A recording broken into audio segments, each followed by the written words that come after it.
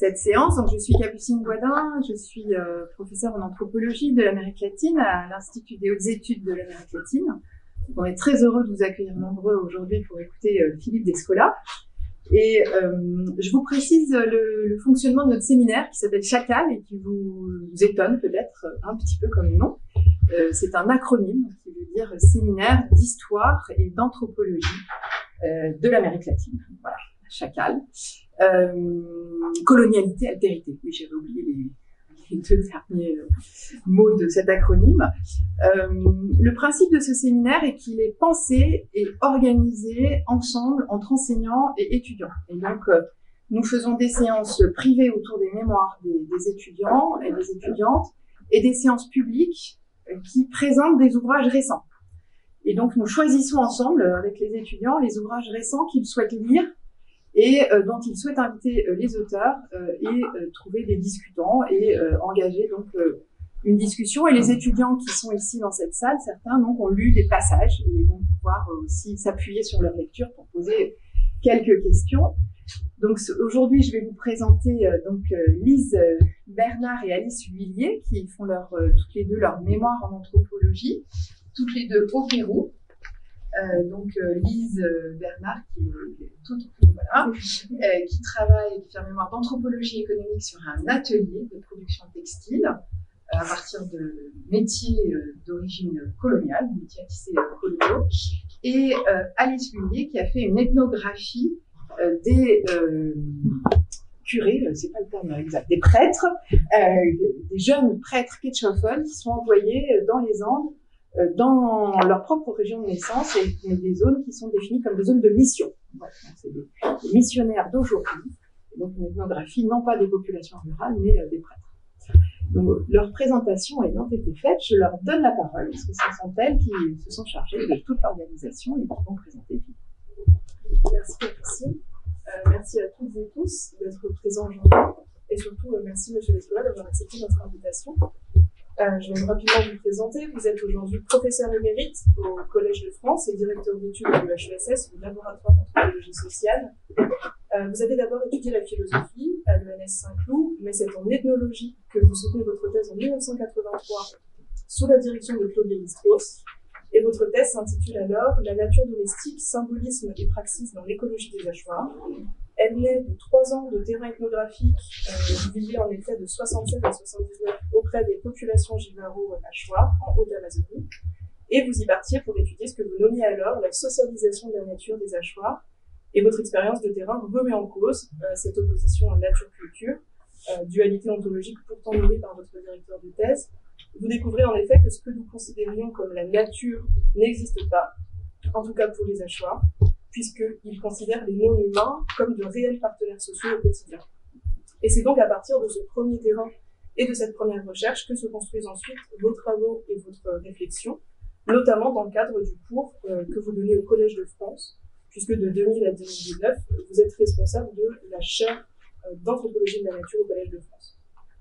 En 2005, à partir d'études textuelles notamment, euh, vous proposez une nouvelle écologie des relations en distinguant quatre modes d'identification que sont l'animisme, le totémisme, l'analogisme et le naturalisme, quatre ontologies qui se distinguent selon la continuité ou la discontinuité des physicalités et des intériorités.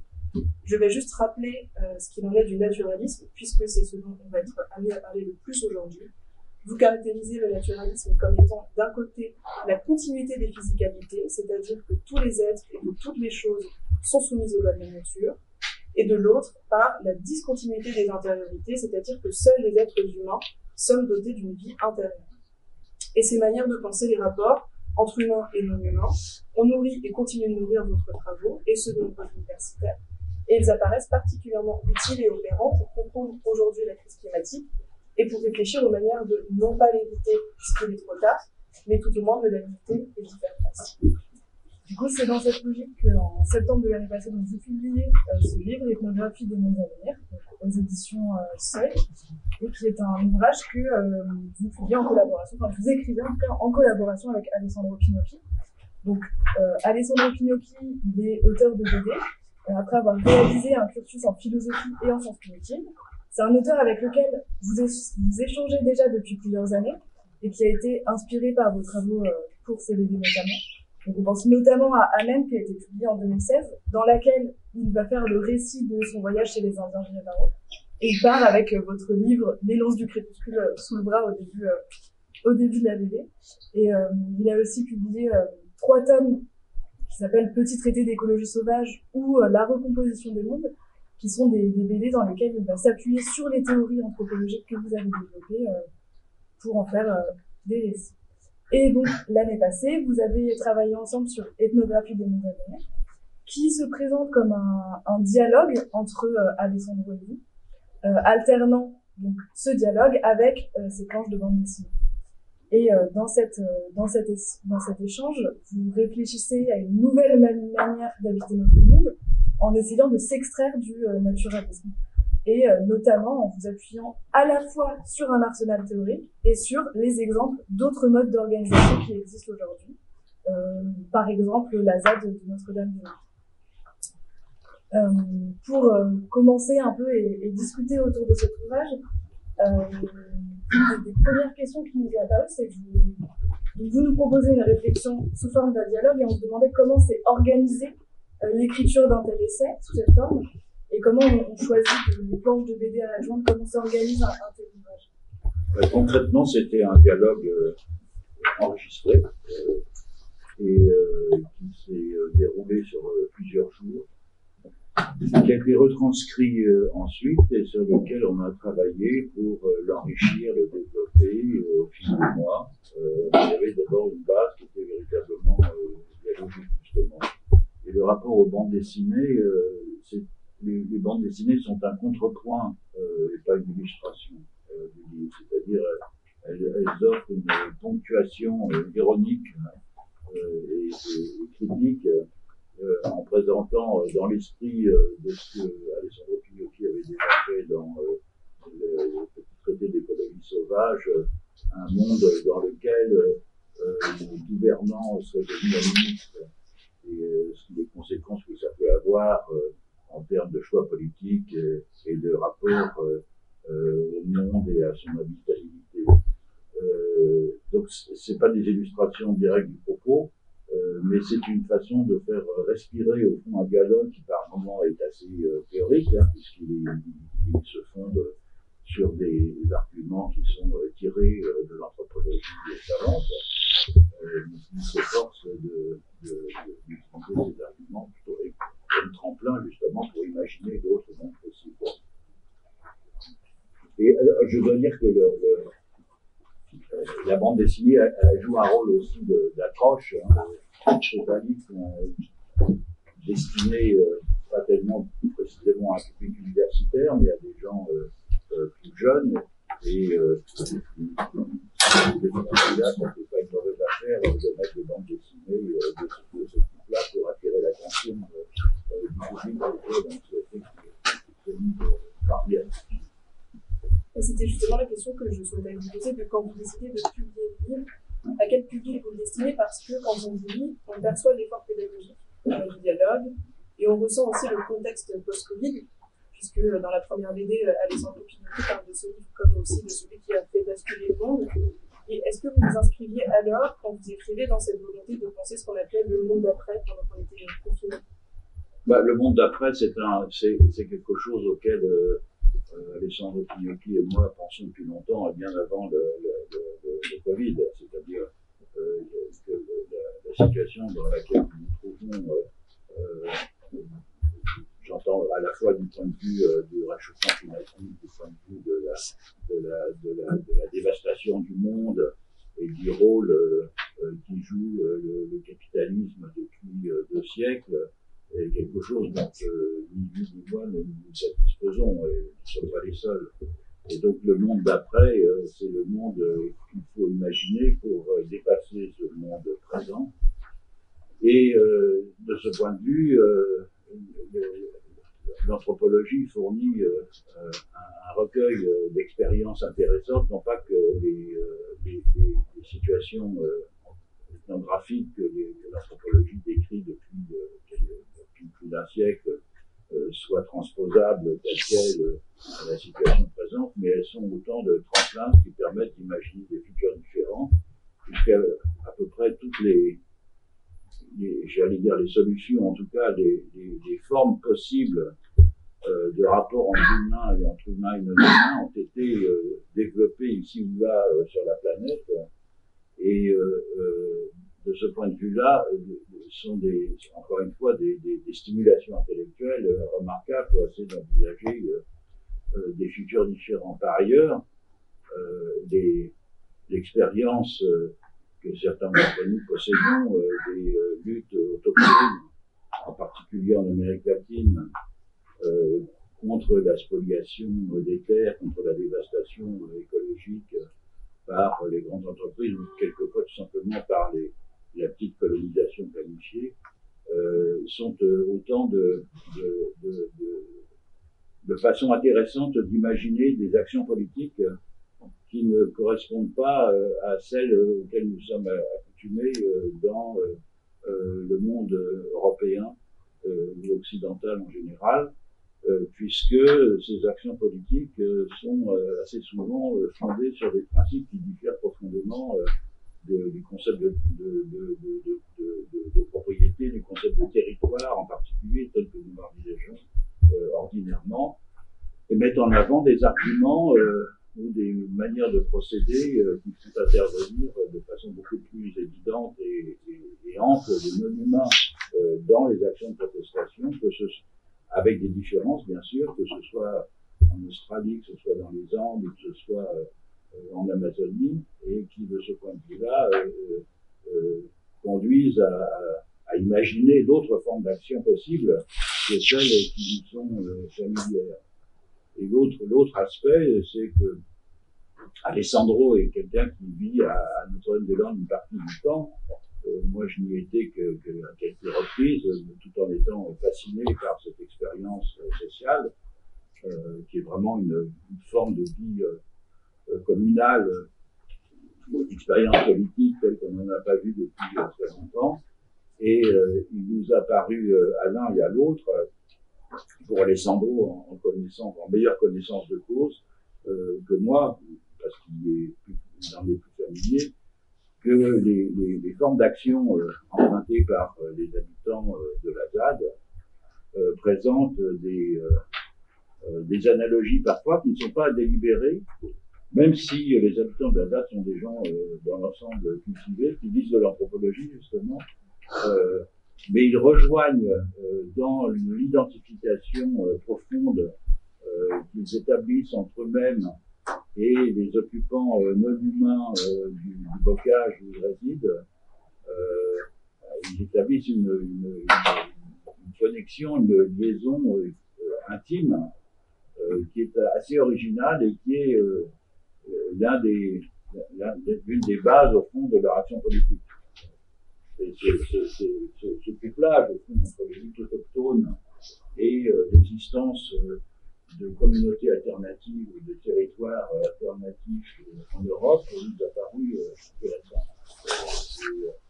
Au lieu de considérer les luttes autochtones avec d'un peu loin et quelquefois avec un peu de, de condescendance, comme c'est souvent le cas dans, chez les politiques en Europe, on peut voir qu'il y a au contraire convergence entre ces deux euh, formes euh, de réaction contre, euh, à la dévastation du monde.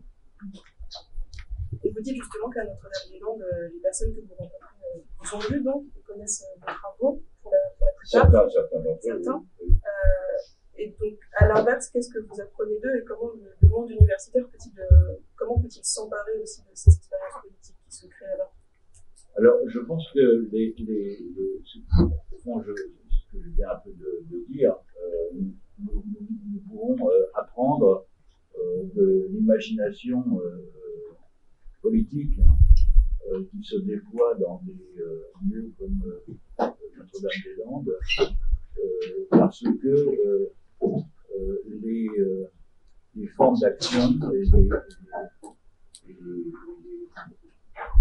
propositions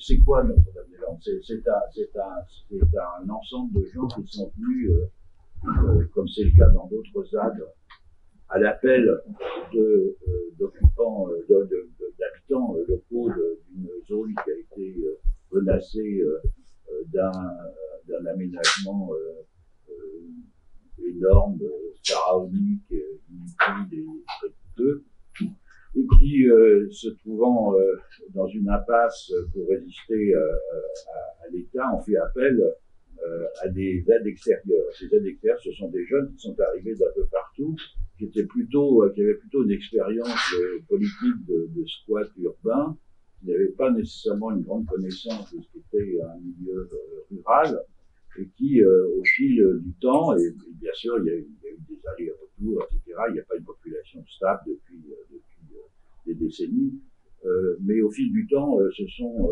trouvés des, encore une fois, s'identifier euh, à, un lieu avec une, et assez occupant euh, d'une façon euh, très vivace et à, à, se convertir d'une certaine façon en porte-parole des non-humains de ce lieu, de ce territoire, non pas en réclamant la propriété d'un territoire, mais en réclamant au fond que l'on leur concède c'est le cas euh, à l'heure actuelle, euh, le moyen de continuer à coexister d'une façon euh, paisible et en, développant à leur égard des, égards, justement, avec des, des, humains.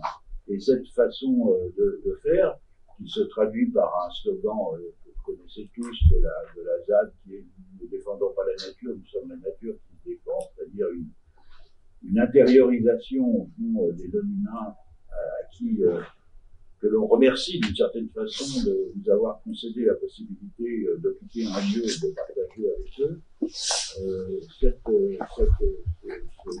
ce, slogan me paraît correspondre euh, à des manifestations, comme je l'ai dit tout à l'heure, qu'on trouve dans les, dans les luttes des peuples autochtones en Amérique latine. Je vais prendre deux exemples. Le premier, c'est un que décrit euh, Marisol de la Cadena dans un, dans un article sur un, mouvement de protestation qui a eu à Cusco il y a quelques années euh, contre une mine euh, qui devait être euh, établie dans la cordillère de Laosangate.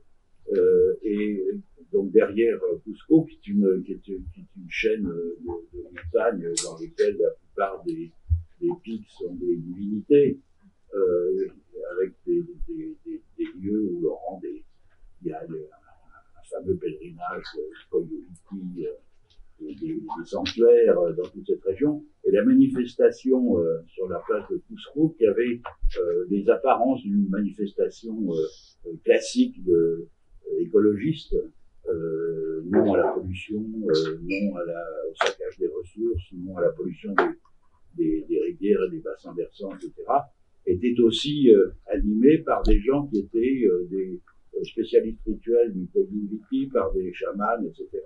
Et l'idée, au fond, c'était que le collectif des habitants autochtones de cette région s'était réuni pour défendre non pas un territoire, mais un membre de leur collectif qui allait être détruit par ces techniques de mine que l'on connaît bien dans les Andes et qui ne sont pas sont très très différentes des techniques classiques de mine euh, que, qui sont pratiquées euh, depuis euh, très longtemps dans les Andes, qui consistent à forer des tunnels et puis d'aller négocier avec les esprits de la mine pour qu'on puisse retirer un peu de cuivre et d'or, mais qui en l'occurrence consiste, comme c'est le cas au Canada, en Australie ou dans d'autres régions du monde, à décaper couche par couche un, lieu, une montagne, et donc à détruire complètement un, site. Et il fallait donc protéger ce monde du collectif, non pas comme une ressource pour les Amérindiens, mais comme, encore une fois, un, sujet parmi d'autres formant un, un macro collectif composé d'humains de, de, sources, de divinités, euh, de plantes, euh, etc. Donc ça, c'est un exemple absolument caractéristique d'une lutte politique qui est fondée sur des prémices qui sont très très différentes de manifestations écologiques classiques qu'on peut trouver euh, ailleurs dans le monde. Un deuxième exemple, c'est celui d'une communauté que certains d'entre vous connaissent peut-être parce que on en a pas mal parlé, qui s'appelle Sarayaku, qui est une communauté autochtone dans l'Amazonie équatorienne, qui est située juste au nord du territoire Achuar, et qui, euh, comme beaucoup de communautés euh, de cette partie du, de, de, de, la province du Pastaza en Équateur, est euh, le, le, le, le, résultat d'une ethnogénèse, puisque c'est une région de réduction des dominicains. Les réductions des dominicains, vous savez ce que c'est, ce sont des, comme toutes les réductions missionnaires en Amérique latine, c'est un processus par lequel euh, des ordres missionnaires, euh, tout à la fois protéger des populations autochtones contre les raids esclavagistes, des, Espagnols ou des Portugais, euh, et en même temps essayer de parvenir à une sorte de rêve politique qui était celui d'une république d'Indiens dégagée de tous les de tous les, les, maux, quelque sorte, la vie de la, de, la cité, entièrement gouvernée en fait par des principes d'amour réciproque et de d'adoration du Seigneur. Euh, cette, euh, cette, cette, euh, entreprise dans la région du, du nord du Pastassa euh, a pris la forme de plusieurs petites réductions avec des chapelles, et puis ça s'est progressivement disloqué au fil du temps, mais le résultat, c'est que des populations autochtones qui parlaient des langues assez différentes, en l'occurrence, il y avait des, des des, des aparophones, et des populations qui maintenant ont disparu, qui étaient réunies dans ces, dans ces réductions et qui euh, étaient, euh, euh, dont la langue, euh, qui ont perdu leur langue et dont la langue est devenue le quechua parce que c'était la langue d'évangélisation des, des, missionnaires, en particulier des dominicains dans la région. Et ces, ces, ces, ces, communautés se sont donc constituées ainsi. ce sont le, c'est le produit d'une opération coloniale qui est bien connue et, euh, et lorsque la communauté de Sarayaku euh, euh, a voulu garantir son territoire contre des menaces de spoliation euh, qui se faisaient de plus en plus euh, nettes parce que les, gouvernements équatoriens avaient concédé des lots de territoire dans dans l'Amazonie équatorienne à des compagnies pétrolières. Euh, ils sont venus euh, à euh, Paris euh, pour, à la COP 21, 2015 donc, enfin Bourget en tout cas, pour demander la reconnaissance légale de leur territoire comme un territoire d'un genre nouveau qui serait, dont la, la, la protection serait fondée sur le fait que s'y euh, déploient des euh, euh, relations, alors l'expression en espagnol, c'est des relations matérielles et spirituelles, en espagnol en tout cas, entre humains et non humains, tout à fait euh, original et qu'il s'agit de, de, de, préserver. Alors, cette, cette, cette demande est intéressante parce que euh, au lieu de prendre des arguments fondés sur la protection du territoire et des ressources qui s'y trouvent, c'est-à-dire euh, euh, la, mise en danger par euh, l'exploitation pétrolière, la pollution des, de, de, des eaux, par exemple, par, par des fuites de pétrole, qui sont bien connues hein, par ailleurs en Équateur ou ailleurs, euh, parce que c'est malheureux, il y a malheureusement eu des, drames de ce type-là, en particulier dans le nord de, l'Équateur, qui est la zone, ou la région équatorienne, qui est la zone où il y a eu la plus grande, les plus grandes opérations d'exploitation de, pétrolière. Au lieu de, de, protester contre les menaces de, pollution, au lieu de protester même au nom d'une autochtonie dont on voit bien que dans la mesure où c'est une réduction, elle n'est pas véritablement euh, patente, hein, puisque ce sont des populations diverses qui au fil des siècles se sont retrouvés combinés à l'intérieur de ce petit euh, territoire sous la houlette euh, des dominicains. Et donc il y a eu beaucoup de circulation de, de population dans toute la région, et donc c'est très difficile de, de clamer une autochtonie euh, dans un cas pareil, euh, du fait que effectivement les gens qui sont là et qui parlent choix ils sont depuis un, certain temps, mais si on remonte en arrière, il s'agit de lambeaux de population qui parlaient des langues différentes qui sont regroupés à l'intérieur de, de, cet endroit. Donc au lieu d'utiliser de, des arguments de ce type-là qui pourraient paraître de soi pour nous, ce qui est demandé, c'est la protection non pas tant d'un territoire que d'une relation singulière. Et cette relation singulière, évidemment, se déployant dans un territoire particulier, c'est la raison pour laquelle le territoire doit être protégé. Et on peut imaginer, ou on peut trouver en tout cas, euh, euh, certaines des revendications euh, des habitants de Notre-Dame-des-Landes se rapprochent de ce genre de, d'attitude qui et, et, et, qui n'est pas une transposition directe, parce que je pense pas que en tout cas, euh, même si euh, peut-être des, il a pu m'arriver de, de, parler de ça à Notre-Dame-des-Landes, c'est pas, pas, pas un modèle euh, euh considéré comme étant un,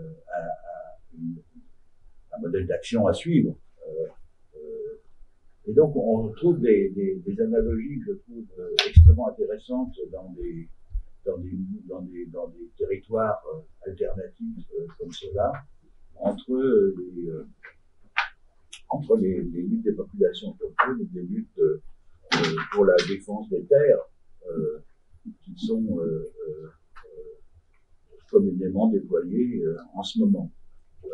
et on voit à quel point d'ailleurs, puisque vous avez vu que le ministre de l'Intérieur souhaite, souhaite dissoudre les soulèvements de la terre, qui n'est pas une association, mais un, mouvement, un mouvement de fait, hein, euh, qui est né en partie euh, d'une initiative euh, d'habitants de Notre-Dame-des-Landes, justement, on voit bien à quel point ce, ce genre d'action peut mettre mal à l'aise les oligarchies et les gouvernements qui les défendent, tant en Amérique latine qu'en Europe. Justement, dans, ce, dans, cette idée, quand on voit la réaction donc, bah, que ce soit à Notre-Dame-des-Landes où il y a eu une répression euh, très intense et plus récemment euh, ce qui s'est passé à Sainte-Sophie et là la, volonté de dissolution des soulèvements de la terre, il y a eu une grande violence de l'État face à ces territoires alternatifs qui sont en train, de se créer. Et effectivement, dans l'ethnographie des mondes à venir, vous parlez de. justement, vous, mettez en avant cette diversité des territoires alternatifs qui serait peut-être une solution pour, euh, en face à la crise écologique dans laquelle on est. Et en même temps, on a l'impression que, euh, par rapport à, ce qu'on enfin, à ce à quoi on assiste, cette violence, que ces mondes à venir, ne peuvent qu'arriver qu'avec une grande violence euh, entre l'État, entre euh, les, les, personnes, les militants qui défendent ça. Et est-ce que, enfin, comment on peut, dépasser ça, ou est-ce que ça vous semble plausible en fait, ce dépassement de la violence qui a l'air finalement indépassable actuellement? c'est une question difficile. Euh, rien n'est jamais obtenu euh, sans euh, conflit.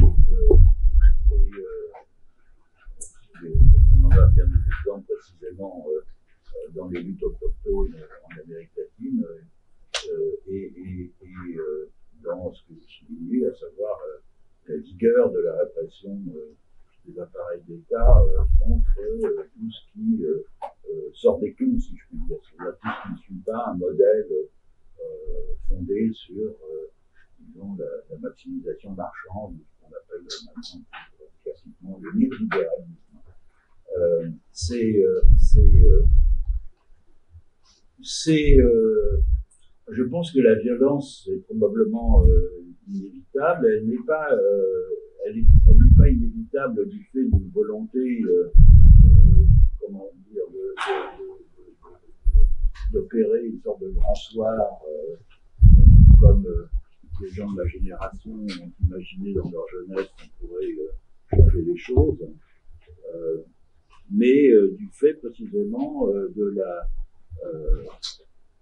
de, l'impossibilité, au, fond, pour euh, les euh, gouvernements euh, libéraux et les intérêts d'oligarchie euh, qui le défendent, euh, d'envisager des formes alternatives euh, d'usage du monde. Et ces formes alternatives, lorsqu'elles se lorsqu'elle se déploie, comme c'est le cas à la fois dans des territoires autochtones et dans des territoires alternatifs, constitue en quelque sorte des, sortes d'insultes à la, normalité qu'il faut réduire. Et il, va, il va de soi que l'État emploie les moyens dont il dispose pour se faire, à savoir la violence d'État. Euh, le, le, le, futur que, que j'imagine, peut-être que je souhaite, c'est un futur euh, qui euh, d'une plus grande diversité que, ce que le président nous offre, qui me rappelle par moments, j'en parle dans, dans le livre, euh, qui me rappelle ce qu'était l'Europe et en particulier l'Italie du Nord euh, à l'époque médiévale, c'est-à-dire une conjugaison euh, de, formations sociales, politiques et économiques très diverses, qui combinaient des communes libres, des communes euh, aristocratiques, des grands États comme les États du pape, ou, le Royaume de France, euh, les, des, des, des, sortes de multinationales euh, comme euh, la République de Gênes ou la République de Venise, euh, et tous en, en, en, en, négociation, en conflit, entretenant des rapports plus ou moins diplomatiques, de telle sorte que un, un, cavalier sortant de sa ville pouvait en trois jours euh, euh passer dans trois, euh, quatre euh, systèmes différents avec des statuts différents, ce qui était le, l'état de l'Europe avant, avant la, la, la, Révolution et avant le début de l'unification européenne que Napoléon avait entrepris de, de réaliser euh, il n'est pas impossible qu'on se retrouve dans des situations de ce type-là. Et ces situations euh, nous, nous, rappellent, euh, Alessandro Pignotti et moi, d'autres formes d'interaction euh, qui sont euh, assez communes euh, dans, en Asie du Sud-Est et que Scott a bien décrit dans ses travaux, qui sont le, les rapports entre les populations des grands bassins des plaines rizicoles euh, en Asie du Sud-Est, en Birmanie, euh, au Vietnam, euh, en Thaïlande, etc. et les populations qu'on a longtemps appelées en France montagnardes, c'est-à-dire les populations des hauts plateaux et des collines, qui menaient une existence sinon complètement indépendante, en tout cas beaucoup plus séparée de ces grands États, de ces royautés, hein, et ensuite de ces États coloniaux. Euh, dans un système d'échange, de, de, de, colonisation, de, de tentatives de réduction. On le voit à l'heure actuelle, par exemple, de façon très nette avec euh, la lutte entre les, euh, les, les Birmans euh, qui sont partis des, des, des, des banards, des, des, des, des, plaines rizicoles, qui sont partis rejoindre les, des minorités euh, des, des, hauts plateaux euh, et leur mouvement de, de. Euh, et donc, ces, ces, zones, euh, Scott l'a bien montré, étaient des zones de, de fuite, hein, des zones de, plateaux, ou alors, dans, la région d'ailleurs de, de l'insulinde, c'était l'amont et l'aval des rivières. Euh, euh, des zones donc de, relative indépendance, qui ne voulait pas dire qu'elles étaient égalitaires. Il y avait euh, des, formation politique hiérarchique, il y avait aussi de, l'esclavage dans certains cas, etc.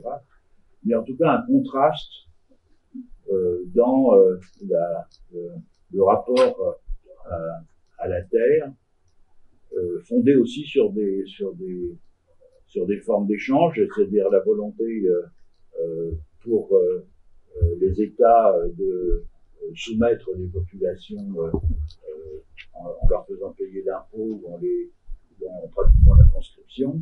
Euh, et, euh, euh, lorsque ça n'était pas possible, des, systèmes d'échange de ressources entre les, les hautes terres et les basses terres, et la possibilité pour les gens qui fuyaient le régime étatique de se réfugier aussi dans les affaires. Donc une situation beaucoup plus complexe qui perdure encore une fois dans une partie de la sud-est que celle que nous connaissons actuellement depuis euh, l'instauration du régime westphalien, c'est-à-dire depuis la création d'États qui se reconnaissent mutuellement euh, dans leurs frontières, même s'ils ne les respectent pas toujours, euh, et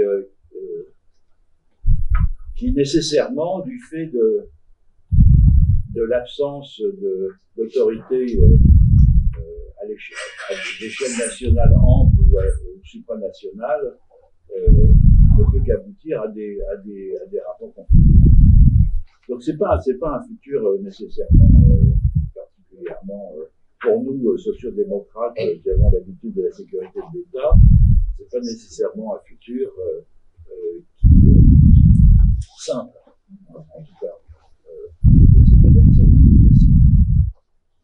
Et en tout cas, c'est, semble-t-il, peut-être par ce biais que le, caractère limite, inégalitaire euh, et euh, dévastateur euh, du capitalisme tardif peut être en partie, sinon aboli, en tout cas.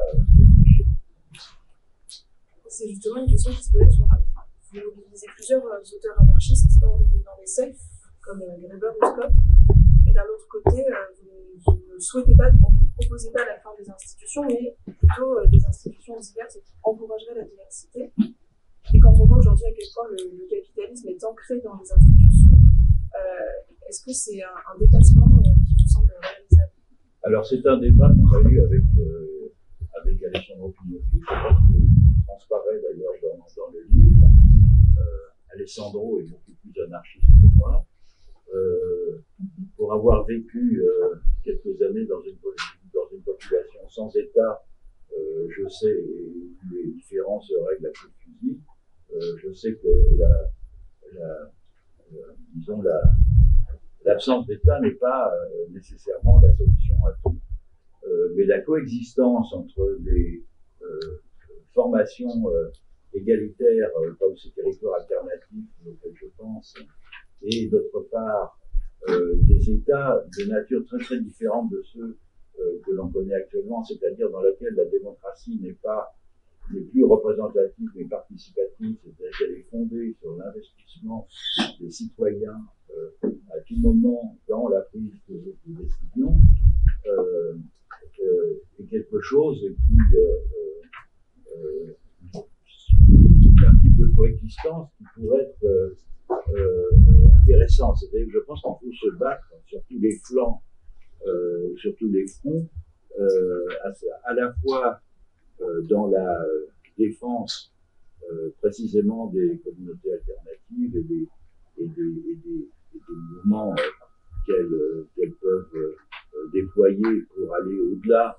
de la défense de leur propre précaré. C'est pour ça qu'on parlait des soulèvements de la terre tout à l'heure, la lutte contre l'accaparement et la privatisation des biens communs qui est fondamentale, et euh, de l'autre côté, une lutte qui est interne, au fond, euh, euh, aux États-nations tels qu'on les connaît en Europe, de façon à transformer profondément leur système politique et à l'orienter vers des formes participatives qui tranchent profondément sur les, régimes constitutionnels, en particulier en France, euh, qui euh, favorise une délégation épisodique euh, du libre arbitre des citoyens sans leur permettre nécessairement d'intervenir dans les, dans les affaires de l'État. Justement, vous dites que Alexandre est plus anarchiste que vous.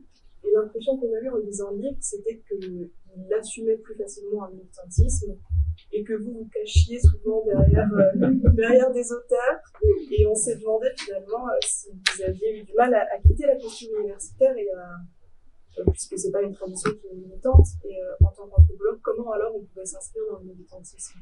Bah, Alessandro Pignocchi est plus militant parce que en fait, il passe une grande partie de sa vie à Notre-Dame-des-Landes et donc de cette façon, il fait correspondre euh, l'intérêt qu'il a pour euh, cette euh, forme alternative de territoire alternatif et, sa vie quotidienne.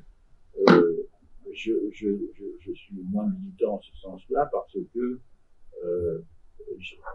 je, suis un, un, universitaire et que donc je suis attaché à tout l'appareil de recherche et de réflexion euh, euh, que j'ai euh, utilisé toute ma vie pour essayer de penser. Et, et, et, et, ayant été militant dans ma jeunesse, je sais que c'est très coûteux en temps.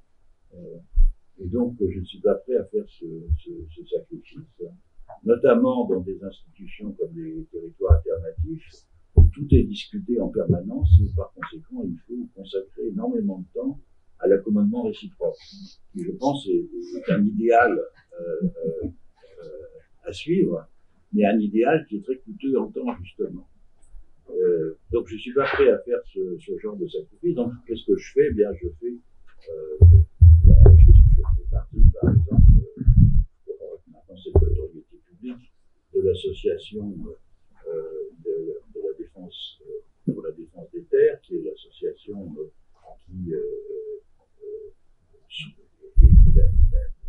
officielle, si vous voulez, qui défend, qui, qui, est la, base de la, du, soulèvement de la terre. Et donc, euh, de ce point de vue-là, c'est un engagement parce que je, fais passer, j'utilise la respectabilité universitaire que l'on veut bien m'accorder pour protéger, au fond, d'une certaine façon, des, militants notamment des militants à Notre-Dame-des-Landes, qui sont exposés du fait de la précarité de leur situation euh, euh politique. Voilà. Ça n'empêchera peut-être pas de, de, subir des perquisitions, mais euh, cela dit, euh, je pense que je suis moins exposé euh, qu'un qu militant voilà, donc c'est des formes d'engagement que je prends à, l'échelle où je peux les, où, elles sont pour moi je pense qu'on va proposer d'ouvrir au public la discussion. Si les gens ont des questions, euh, continuer l'échange. Euh, J'imagine que je vois déjà des droits qui se lèvent. Donc, euh, ouais. Euh, bon, merci beaucoup. Euh, vous, vous, faites une analogie entre Notre-Dame-des-Landes, et les formes de résistance euh, en Amérique latine notamment. Euh, mais on peut aussi voir des malentendus plus ou moins productifs ou des formes d'incommensurabilité, et notamment, je pense à, la dimension surnaturelle, à l'existence du surnaturel. Je me rappelle été à l'invitation de Christophe Bonneuil à, Notre-Dame-des-Landes, et j'avais voulu poser une question sur Notre-Dame-des-Landes. Le mot est hyper chargé, une puissance féminine associée à quelque chose de naturel. Mais alors, j'ai senti que ma question avait l'air complètement hors de propos dès lors qu'elle ouvrait sur euh, la dimension. Peut-être que ça a évolué depuis, mais je voulais avoir votre opinion sur, cette, euh, sur cet espace éventuellement d'interactivité entre ce qu'on voit dans les mouvements zadistes et puis euh, ce qui peut exister en, en le Je pense pas que l'incommensurabilité soit telle. Euh, une des choses qui frappe à Notre-Dame-des-Landes, alors Notre-Dame-des-Landes, il se trouve que c'est le nom d'un village voisin et que c'est donc la commune à l'intérieur duquel euh, la, la ZAD est, établie, mais euh, les, les, les, habitants euh, s'efforcent de réfléchir à des formes de ritualité euh, commune pour à la fois célébrer un peu à la, tradition durkheimienne, l'effervescence du collectif, hein, pour célébrer, disons, une, communauté de vie et de pensée, et en même temps pour, euh, au fond, donner, stabiliser des formes de relations avec des, des non-humains. C'est très difficile d'inventer des rituels d'une certaine façon euh, je pense que tant la, la, les, les, les, conventionnels euh, en France au moment de la Révolution française, l'Union soviétique, euh, en savent quelque chose. Il a fallu, au moment où on a supprimer supprimé l'Église catholique, en fait, quand on lui a substitué le culte de l'être divin, on n'a pas fait un, très grand, un très grand changement euh, sous la Convention. Donc, je, je, je pense que c'est, euh, il y a probablement une tendance euh, vers euh, cela parce que je pense que la, la, faire advenir un monde nouveau suppose des récits nouveaux. Et ces récits viennent de toutes parts. Nous, nous, composons nos mondes, chacun d'entre nous, non seulement du fait des, pratiques automatiques et la plupart du temps inconscientes qui nous ont été transmises dans notre socialisation, dans des intuitions que nous faisons sur euh, la nature des choses et sur les, types de relations qu'on entretient avec euh, telle ou telle euh, entité. et ça, ce sont, des, ce sont des comportements, ce sont, comme Maurice Bloch les appelle, des, des choses qui vont sans dire.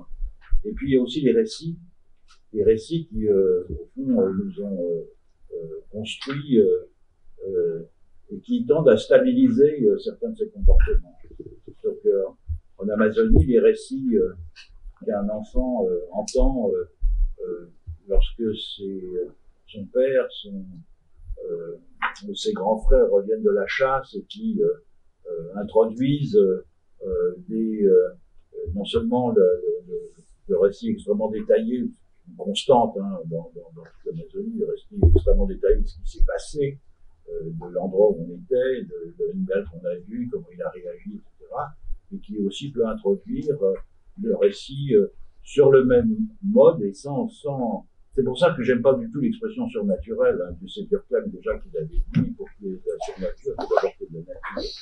Et euh, donc, euh, c'est donc tout ce qui tranche sur la nature. Mais quand on, la nature n'existe pas, qu'est-ce que c'est que le surnaturel? La question du surnaturel ne peut pas être posée de cette façon-là. Il n'y a pas d'un côté euh, l'empirique et le, et, le, et le laïque, si je puis dire, et le politique, et puis de l'autre côté le, le surnaturel. Euh, ce, ce, pour revenir à ces récits, euh, qu'est-ce que c'est? C'est tout simplement dans certaines circonstances, c'est pas un animal qu'on voit, c'est tout simplement un son qu'on entend et a un certain nombre de circonstances qui font que ce son euh, euh, qui euh, témoigne d'une présence mais qu'on ne peut pas voir euh, signale la présence d'un esprit. Donc dans un monde où il y a des esprits, il faut des indices pour repérer la présence de ces esprits. Et les récits que l'on entend quand on est enfant vous amènent ensuite, lorsque les mêmes circonstances sont rencontrées, à détecter des esprits qui vous les, mêmes circonstances se reproduisent. Donc ça veut dire qu'on croit à quelque chose. Ça veut dire tout simplement qu'il y a des automatismes d'imputation euh, de présence euh, dont on a entendu parler quand on est enfant et à qui on peut donner euh, une consistance et une forme. C'est exactement la même chose. Moi, quand on me parle d'un muon ou d'un boson de X, je ne sais pas ce que c'est. Simplement, euh, c'est des choses que on détecte euh, dans des, euh, appareils extrêmement compliqués qui sont disposés dans des accélérateurs de particules et dont les, physiciens nous disent oui ça existe, on l'avait prévu et ça existe puisqu'on a des traces. Mais j'en ai jamais vu. Et donc dans mon dans, dans le monde des atchoirs, il n'y a pas de besoin de X, mais il y a des esprits. Et donc le surnaturel, c'est tout simplement ce que vous appelez le surnaturel, c'est une façon euh, disons, d'entrer de, en, en, relation, d'établir des relations avec des éléments euh, qui ne sont pas nécessairement visibles euh, du monde et euh, euh dont on dépend pour, euh, en partie vis-à-vis desquels on doit, dans certains cas, manifester des égards, etc. Donc c'est comme ça qu'il faut voir les choses et pas en termes de, je pense, d'une attitude euh, euh, religieuse ou pas euh, vis-à-vis des, des non-humains. Et la difficulté, encore une fois, lorsque lorsqu'on invente de nouvelles formes collectives, c'est d'arriver à inventer des dispositifs rituels qui vont avec et qui permettent ou accompagnent ces opérations de détection d'éléments du monde qui ne sont pas nécessairement visibles. Alors il n'y a pas si longtemps que ça, euh, dans l'ouest de la France, euh, il y avait des, des, sources enchantées, il y avait des saints euh, qui accomplissaient des miracles, des choses comme ça. Donc il y avait aussi cet aspect-là qui s'est peu à peu dissipé.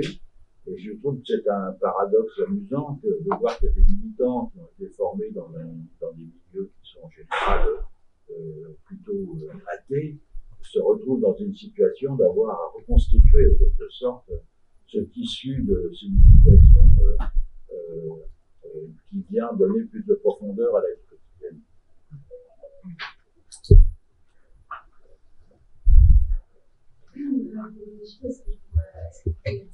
Vous pouvez parler un peu, un peu plus.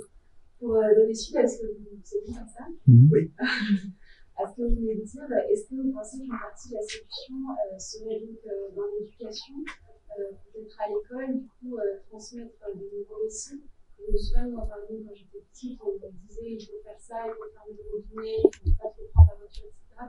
Et on n'avait pas d'histoire comme ça. Alors, est-ce que vous pensez qu'il y a des récits à écrire, des histoires pour les enfants Je pense que oui je pense que oui, je pense qu'il y, a deux directions dans lesquelles euh, aller. D'une part, des, nouveaux récits qui nous euh, incitent à être plus attentifs euh, aux, êtres autres qu'humains, et d'autre part, à mieux les connaître.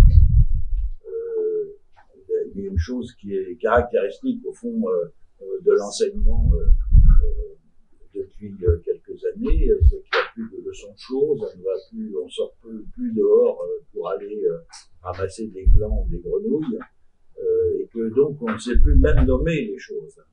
On ne sait plus nommer les, les plantes que l'on trouve au bord du fossé en été, pour la plupart des gens en tout cas. on ne sait plus même comment une plante se reproduit, etc. Il y a, il y a, il y a, il y a on, est censé apprendre ça dans les SVT, euh, mais euh, en réalité, euh, c'est une connaissance qui s'évapore assez vite et qui est peu ancrée dans la, dans la pratique. Donc je pense que la connaissance est très importante aussi, et, le, développement de la capacité d'observation aussi, ne serait-ce que des comportements des, des, des, des, animaux qui nous entourent, à commencer par les oiseaux. Euh, et les récits aussi qui jouent un rôle important. Euh, euh, alors c'est quelque chose de, compliqué effectivement parce que c'est euh, ça, ça c'est non seulement des récits, euh, euh, il en existe hein, dans la littérature, notamment dans la littérature pour enfants, mais c'est aussi les récits que les parents font à leurs enfants et, les récits que les enfants partagent entre eux. Euh, dans la, cour de récréation. Donc je pense qu'il y a quelque chose d'important de ce côté-là. Au fond, il y a deux fronts encore. Je parlais de deux fronts tout à l'heure à propos de la, front de la réforme de l'État et le, et le, front euh, des territoires euh, alternatifs partout, partout dans le monde. Il y a aussi euh, deux fronts euh, qui sont le front des, transformations personnelles, de l'éducation de l'attention euh, et, de la construction de nouveaux et puis le front des institutions. Euh, et les deux sont, sont, euh, sont indissociables. On ne peut pas passer par l'un sans passer par l'autre. réformer les institutions n'est pas suffisant si on ne développe pas cette attention aux, vivants. Et du coup, comment on fait pour, euh, par exemple, mieux percevoir la nature quand on grandit en ville dans laquelle euh, on n'est plus confronté à cette nature? Vous parliez de, euh, par exemple, enfin, ça, on manipule les choses, mais en même temps, elles ne font plus partie de nos vies.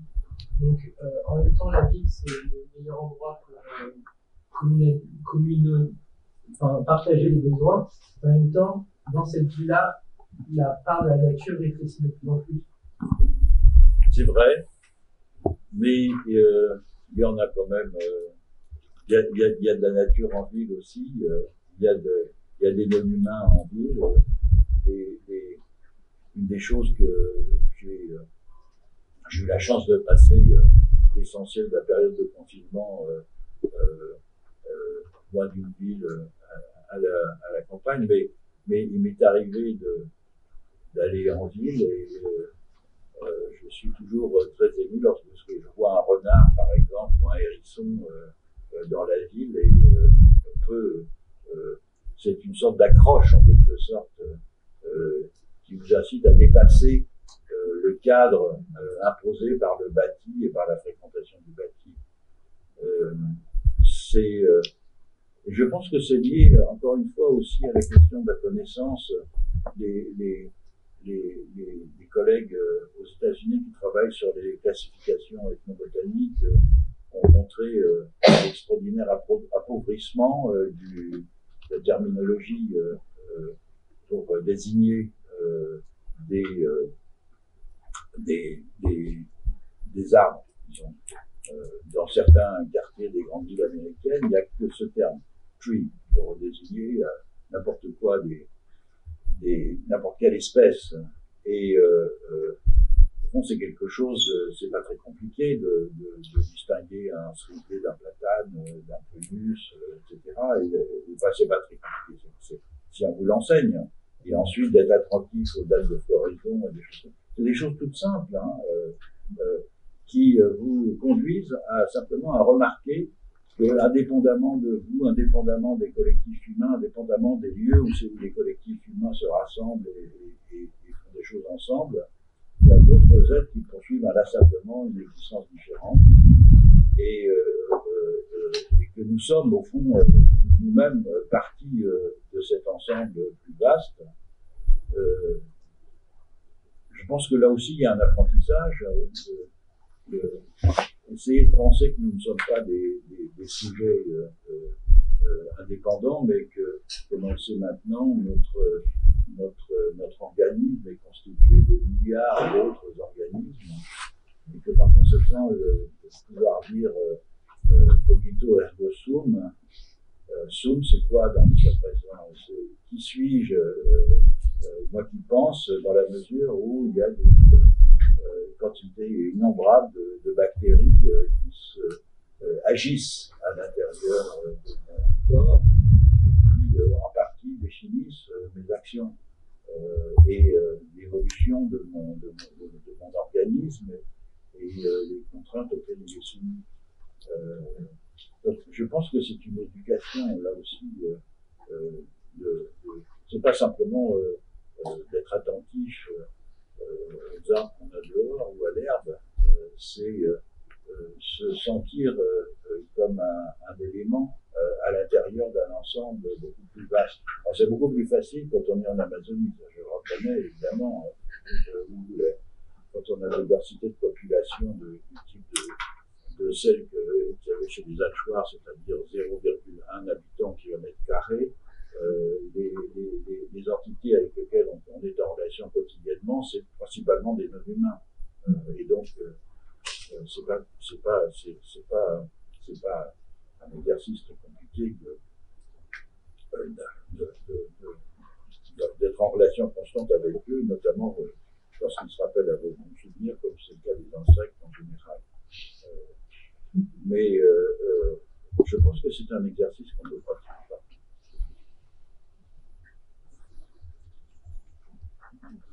Oui, euh, vous mettez l'accent sur les nouveaux apprentissages et sur euh, les nouveaux récits, mais est-ce que peut-être on pourrait voir du côté de l'expérience et de la multiplication des euh, situations expérientielles une possibilité de renouveau au sens où vous l'avez mentionné, enfin vivre d'une manière incarnée une expérience alternative ou se confronter à une toute autre vision du monde, ce qui est le propre de l'ethnographie, conduit à non seulement prendre conscience de la nôtre, mais aussi à devoir bricoler euh, des arrangements avec soi-même et avec euh, sa culture d'origine.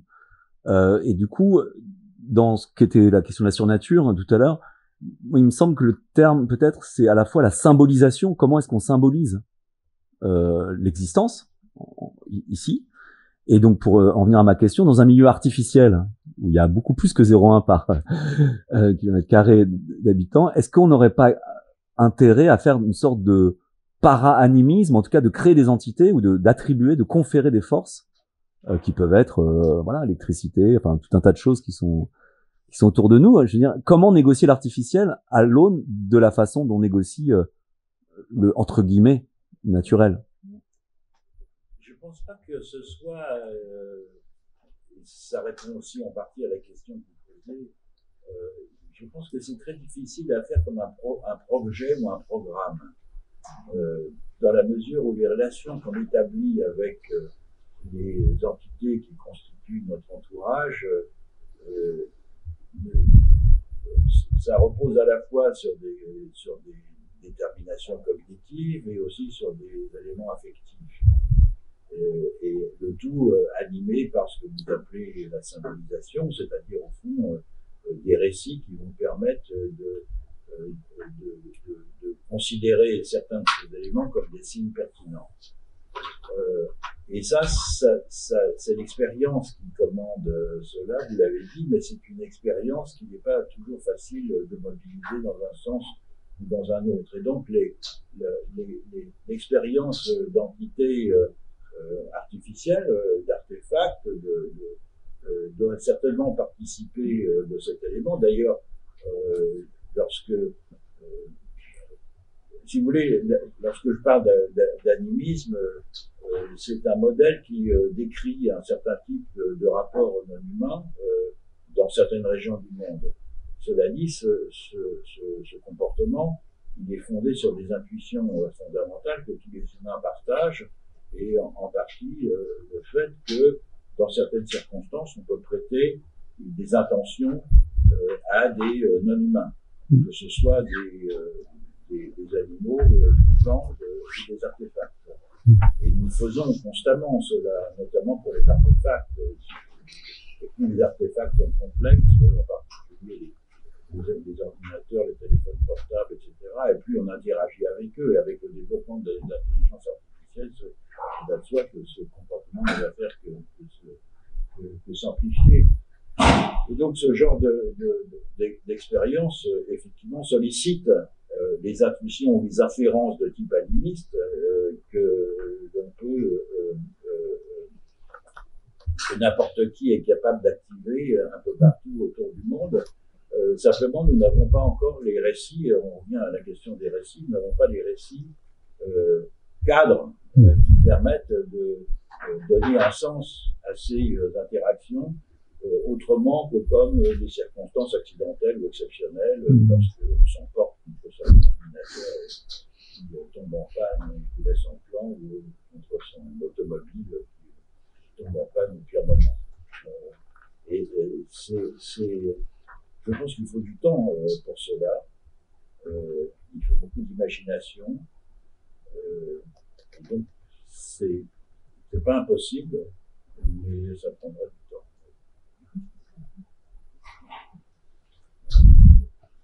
Est-ce que vous assimilez plus ou moins le, le récit au rite Non, le, le, le euh, pardon, pardon, au mythe. Ah non, oui, non, le, mythe, c'est une forme de récit de mm. euh, mais c'est pas. Euh, moi, j'ai une, une, conception assez, assez, assez claire du mythe qui reprend d'une certaine façon euh, la définition générale que les discours en avaient donnée. C'est un récit du temps où les animaux et les humains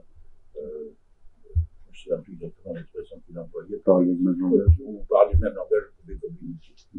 Euh, et euh, cette, euh, de ce point de vue-là, donc c'est un type de récit qui est tout à fait euh, singulier, qu'on trouve euh, dans le monde amérindien en particulier, est assez différent des mythes, des grands mythes cosmogoniques, théogoniques, anthropogoniques de la Grèce ancienne, par exemple, ou des mythes de la de, du, Proche-Orient. Et ces mythes-là, euh, donc les mythes amérindiens, euh, ils sont euh, au fond des appareils euh, épistémologiques. C'est-à-dire que ce sont euh, des façons de d'établir la légitimité du temps présent. Alors, il commence très souvent avec la formule il y a longtemps. Mais ce longtemps, et c'est pas une question temporelle, c'est une antériorité par rapport au temps présent et c'est une façon euh, d'expliquer pourquoi, dans un monde qui était intégralement culturel, où les plantes et les animaux euh, euh, de la musique, faisaient la cuisine et se mariaient selon les règles euh, tout d'un coup, des événements euh, catastrophiques ont fait que euh, certaines de ces plantes et de ces animaux, ceux, ceux qui sont mentionnés dans les mythes, ont acquis leur forme telle que nous la connaissons à présent, tout en gardant les capacités de type humaine, les propriétés notamment de communication, mais aussi de l'appareillage technique qu'elles avaient auparavant. Autrement dit, c'est quelque chose, c'est un récit de spéciation. On pourrait appeler ça une histoire naturelle, si on veut. Non pas le passage de la nature à la culture, mais au contraire le passage de la culture à la nature, c'est-à-dire le passage d'une culture généralisée à des formes biologiques singularisées. Et euh, donc de ce point de vue-là, le, mythe c'est un c'est un type de récit tout à fait singulier qui correspond à ce que j'ai appelé l'animisme et qu'on ne trouve pas euh, ailleurs. Il y a d'autres formes de récits étiologiques qui ne sont pas des, mythes, mais dans le cas présent, moi je dirais que le mythe c'est plutôt une axiomatique, c'est-à-dire ce- ça, ça énonce par des histoires, donc on est dans l'ordre du récit, hein, qui sont des histoires d'interaction, euh, ça énonce les euh, les, euh, les, les, les conditions du temps présent. Donc l'axiomatique est évidemment antérieure aux opérations qu'elle permet, mais c'est pas une antériorité de type temporel. C'est pas il y a très longtemps. C'est-à-dire on peut pas euh, mettre le mythe sur une échelle temporelle. C'est simplement que ça s'est passé avant pour que la situation présente soit euh, intelligible. Bon, il était une fois, c'est un peu la même format. ça. Ah non, parce qu'il était une fois, euh, c'est pas les mythes, c'est des contes. Les Oui. contes, c'est pas du tout la même chose. Les contes ont une forme de temporalité, euh, à mon sens, différente, et qui euh, euh, se servent. euh, les, les œuvres de La Fontaine, c'est la, la même chose, ou les contes africains, qui se servent d'histoires qui se passent entre des animaux, par exemple, pour tirer des leçons sur les rapports entre les humains. C'est pas du tout le même principe. Au niveau temporel, je dirais, il était une fois, ça veut dire. Ben, ça veut dire simplement que c'était a à- c'est pas il y a longtemps, oui, mais c'est pas le même type de, de, Bon. de référence à la temporalité que dans le mythe. Mais vous faites une différence entre le mythe grec et le mythe euh, hachoir, et Oui, oui, comment on oui, oui, oui, je pense que les, les, les, les mythes grecs sont des, sont, ou les mythes sumériens euh, sont des, sont des récits, euh, euh, ne sont pas des récits de spéciation. Ce sont des récits, ce sont des récits de genèse. Alors évidemment, on peut dire que la spéciation c'est une genèse, mais c'est une genèse d'un type un peu particulier parce qu'elle est fondée sur des, opérations de commutation. Tout d'un coup, il y a un événement catastrophique euh, qui fait que euh, un être euh, typiquement, un, un- un mythe amazonien, c'est un mythe dans lequel, encore une fois, une plante ou un animal va acquérir sa forme à la suite d'un- accident. Et euh, ce qui est intéressant, c'est que, euh, en fait, cette, ce- ce- cette plante ou cet animal avait déjà le nom sous lequel on le connaît une fois qu'il a changé de forme. Et assez souvent, le premier, acte euh, de cet être, c'est de pousser un cri qui est le, son correspondant à son message sonore sous son avatar euh, euh, corporel euh, animal, par exemple. Bonjour. Je voudrais juste, euh, c'est emprunter un chemin que vous avez pris tout à l'heure. Je trouve que dans, le livre, ce qui est, intéressant, c'est en fait, vous avez uni vos deux puissances, on va dire, ou vos deux savoir-faire avec, avec vos. Et donc, vous avez- vous interrogé tout à l'heure sur votre engagement politique. Moi, j'aimerais bien que vous nous rendiez un peu compte de comment vous défendez votre ambition face à la communauté, dans le sens où vous savez qu'il y a de plus en plus de jeunes qui s'interrogent carrément sur le sens même de donner à leur leur cursus. Alors, Cursus Oui, universitaire, oui, oui. leurs études, Oui. ou pas. Euh, Alejandro n'a pas choisi de continuer dans l'académie. cas. Donc, est-ce que vous pouvez nous rendre compte un peu mieux de vos arguments C'est une question très simple. Comment vous justifiez finalement le fait de continuer dans l'académie que lui, non? Parce que pense que pour des jeunes euh, aujourd'hui, c'est assez intéressant. J'imagine que vous avez un dialogue assez fourni oui, c'est un choix personnel. c'est que c'est un, disons, le, type de, science que je fais euh, est fondamental pour moi dans la réalisation de mon existence. Je n'envisagerais pas de, changer de vie euh, de ce point de vue-là. Mais c'est tout à fait différent. Euh, ces, mouvements les qui se sont produits ces derniers temps, je pense en particulier à ceux des ingénieurs dans les écoles agronomiques qui sont très intéressants. Là, c'est simplement un refus, euh, non pas de d'un certain type de, recherche, c'est un refus de contribuer euh, à une forme euh, pour, les, pour les ingénieurs agronomiques d'agriculture euh, destructive, euh, agro-industrielle, au service des, des, des, grandes firmes capitalistes, etc. Donc c'est une prise de conscience de ce que on se dirige euh, dans un, vers un monde euh, auquel on va contribuer euh, par, sa, par, son, par son savoir, ses savoir-faire et, ses, sa participation. Je pense pas que ce soit exactement la même, ce soit la même, chose. Euh, et on peut choisir aussi de, continuer à pratiquer la recherche agronomique en, se mettant euh, euh, au service de, la Confédération paysanne, par exemple. C'est des, des, des, choix, c'est des choix de vie. Euh, euh, donc je, je vois pas ça comme une, comme une alors peut-être que je, je défends par nécessité ma position, mais faire de la recherche de façon réflexive, pour moi, il n'y a jamais eu depuis très longtemps euh, d'autres euh, d'autres façons de, de, mener ma vie. Euh, et donc, si par ailleurs cette recherche peut servir au-delà des résultats scientifiques qu'elle produit, très bien. Je m'efforce de, de, de, mettre ça en pratique. Euh, mais il ne s'agit pas d'alternative du type de celle, euh, encore une fois, de, de, c'est très frappant de voir, euh, euh, j'en fréquente pas mal, euh, des, des, des, des renonçants et qui sont engagés dans la lutte, par exemple, contre le réchauffement climatique, etc.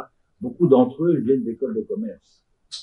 Beaucoup d'entre eux viennent d'un, au fond, ont eu une sorte de, d'épiphanie tardive euh, en découvrant que ce à quoi ils avaient été préparés euh, pendant leurs études était euh, une dévastation, une contribution à la dévastation du monde.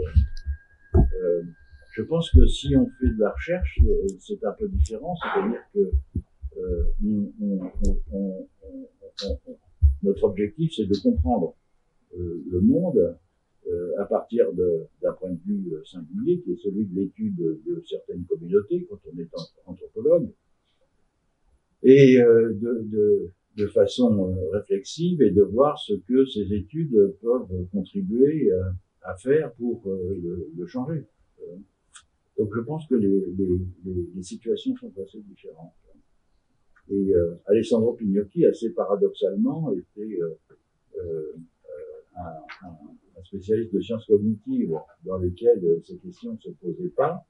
Il a fait sa thèse euh, euh sur euh, des questions d'esthétique avec Roberto Casati à, l'école des études en sciences sociales. Et, et, et, et, au fond, c'est sa fréquentation d'abord des Amérindiens, ensuite de, des. Je parle à sa place, mais c'est un peu indu, mais des, ensuite des, des, militants euh, de, de Notre-Dame-des-Landes qui a fait euh, bifurquer euh, euh, vers autre chose.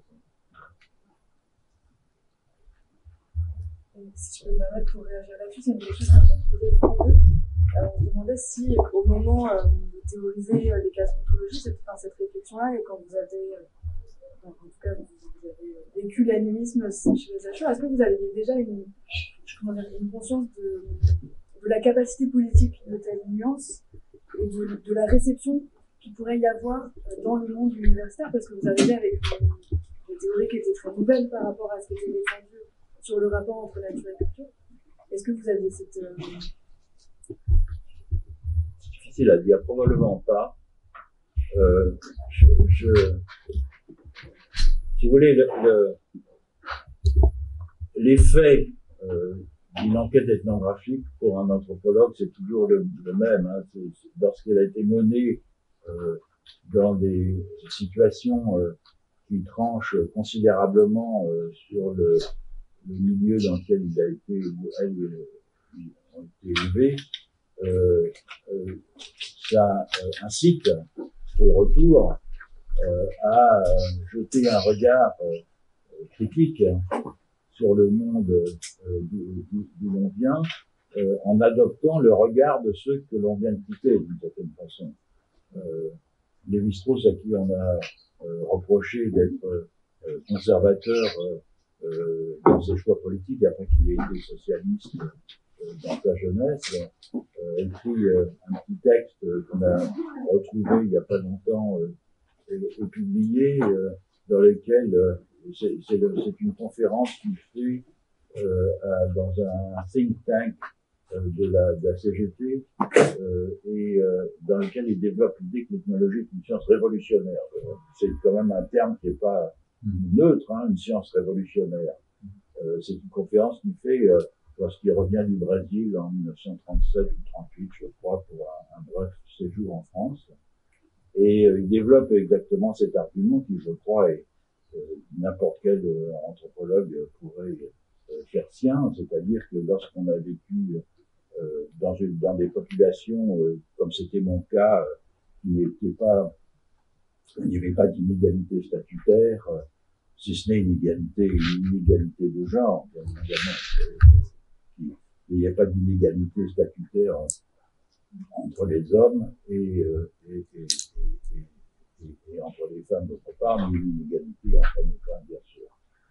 Euh, et où il n'y a pas de, de, de, de euh, marchands, euh, où euh, l'échange est fondé exactement comme dans la définition de Mauss sur le principe de, de, maintenir et d'entretenir des relations entre des personnes par la circulation des objets, c'est-à-dire de, de, consolider au fond des, des, des rapports sociaux par l'intermédiaire d'objets, ne pas transformer des objets euh, en euh, marchandises qui permettent précisément de produire des inégalités. Euh, lorsqu'on a fait ce genre d'expérience, le caractère inégalitaire, unique d'exploitation de, de, de, mercantilisation du monde où on a été élevé vous saute au visage, bien sûr. Euh, et donc, euh, je pense que tous les anthropologues qui ont fait cette expérience euh, ne peuvent pas se satisfaire du monde dans lequel ils sont revenus et ne peuvent qu'aspirer à, à, à le transformer. cela dit, cette insatisfaction, elle, elle, elle, ne prend pas toujours nécessairement la forme, une forme théorique, une forme programmatique. Et je pense que euh, en effet, pour répondre directement à votre question, euh, les, les, les, développements que j'ai faits sur le pluralisme ontologique, disons, euh, sont des développements internes à ma recherche et dont je n'imaginais pas qu'ils aient un, un retentissement en dehors de celle-ci. mais évidemment, ils étaient fondés sur, sur, une, sur quelque chose de très ancien, c'est-à-dire le, le regard alternatif, c'est la, la, la, critique de l'être personne, d'une certaine façon. C'est-à-dire que on voit le, on voit le, ce que j'ai appelé le naturalisme, euh, c'est-à-dire cette, cette, cette, cette, façon de faire monde qui s'est développée euh, en Europe euh, de manière très nette à partir du XVIIe et, et une façon qui diffuse dans les images euh, plutôt à la Renaissance, euh, on, voit le naturalisme comme étant euh, la, la, la, condition du développement du capitalisme, c'est-à-dire de la transformation des humains en ressources, en objets exploitables et transformables en, marchandises.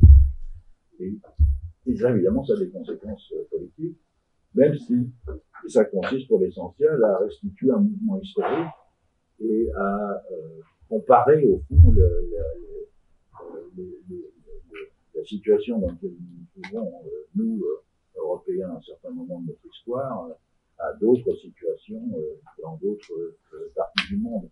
Mais la, le, le fait l'anthropologie comparative, par définition, l'anthropologie comparative, de toute façon, c'est probablement la meilleure façon de, définir ce, qu'elle fait.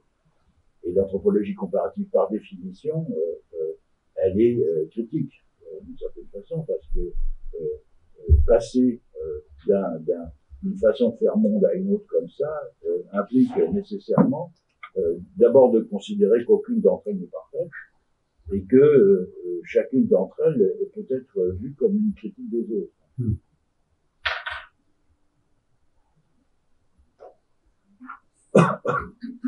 Par rapport à, à, cette possibilité de, de, de faire des terrains euh, de, du type de celui que vous avez fait, euh, il y a vraiment une, une altérité radicale dans la manière de faire société maintenant, ça devient très, très, très compliqué. Des, des, des, communautés autochtones il n'y a pas de portable, il n'y a pas.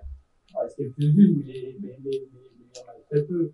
Euh, donc, tout est beaucoup plus. Euh, Qu'est-ce que ça change par rapport à, à, à la trajectoire de la discipline, le fait je suis pas sûr que ça change grand chose parce que chaque génération d'anthropologues euh, s'est cru euh, persuadé que euh, ce qu'ils euh, observaient euh, était la dernière fois que l'on verrait ça. Et donc, les, les, anthropologues, les ethnographes du début du XXe siècle le signalent parfois en disant ce que nous avons vu est en voie de disparition, etc. Et puis 50 ans plus tard, il y a des gens comme moi qui débarquent et qui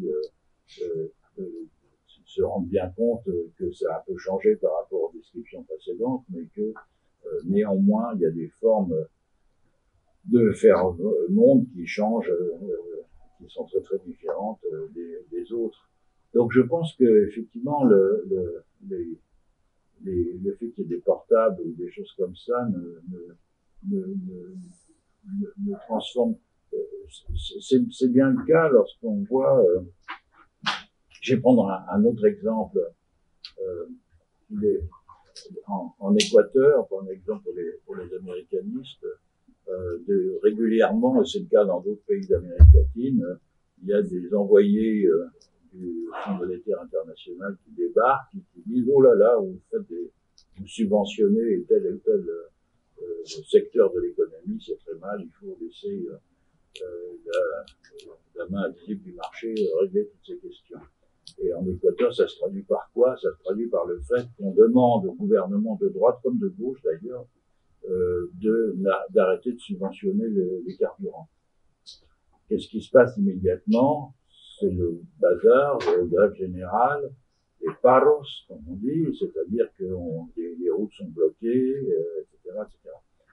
Les, les, les, les, ce, ce, genre de réaction que j'ai connu pendant 40 ans, hein, ça, intervient tous les trois ans, chaque fois qu'il y a une visite du FMI.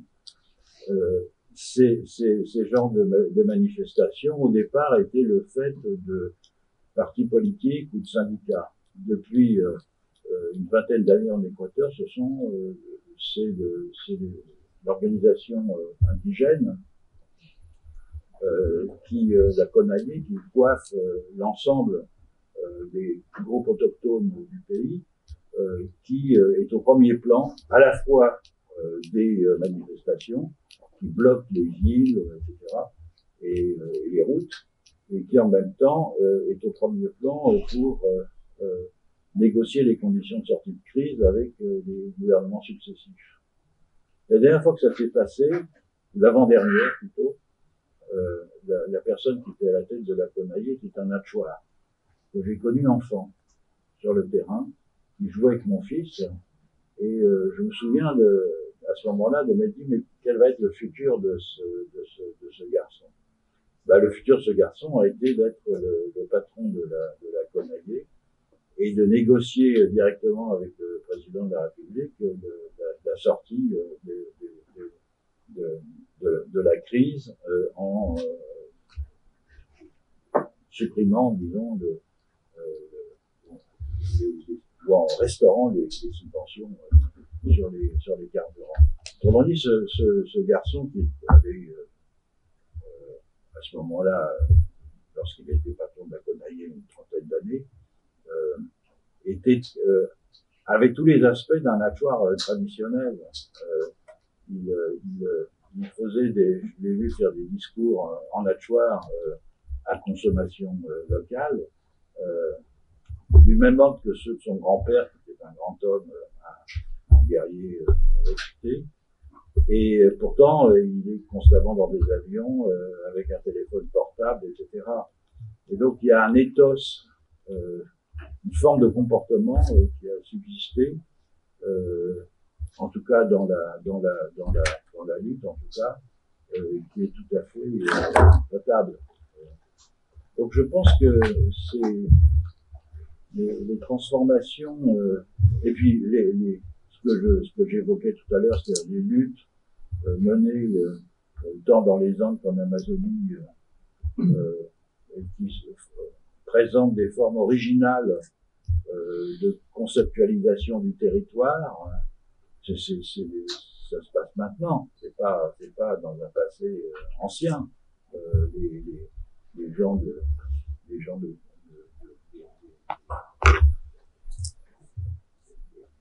les habitants de la région de la Sangate qui manifestent à Cusco, ils sont, euh, ils sont, euh, ils viennent, enfin, dire, ils ont tous les attributs, ils ont beaucoup d'attributs de la modernité par ailleurs, de même que les, gens de, de qui viennent à Paris sont venus en avion, ils sont pas venus en pirogue.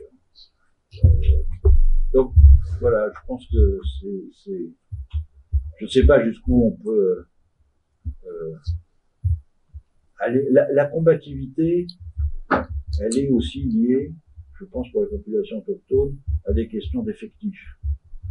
Euh, en Amazonie, euh, je pense en particulier au Brésil, c'est des populations qui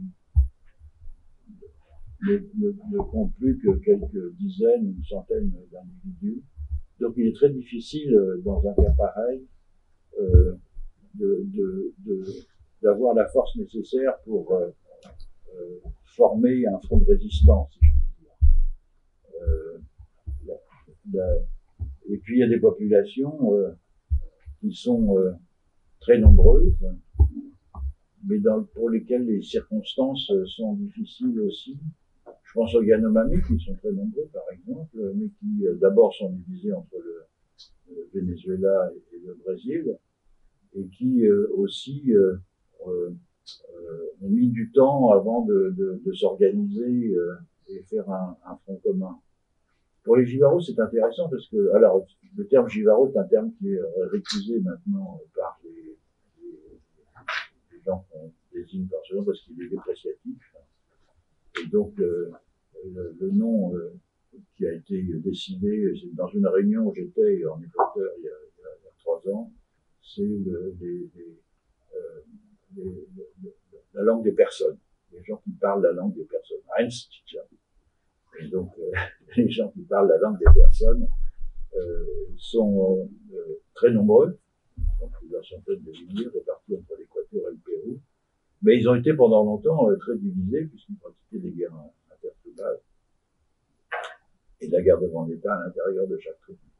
Ce qui les a pas empêchés de, de, de, de s'unir dans des circonstances euh, difficiles euh, pour faire des fronts communs. Donc c'est très difficile de généraliser aussi ces situations. Euh, ne serait-ce qu'à à, l'échelle de l'Amazonie euh, en général.